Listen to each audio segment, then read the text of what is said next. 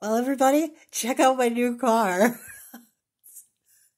oh, no, this right here. This is my new car. No. Haha, not real. But you know what? Dreams can turn into goals. This was pretty neat. This we visited uh Torrance lately, and this is we got a capture of this. This was cool.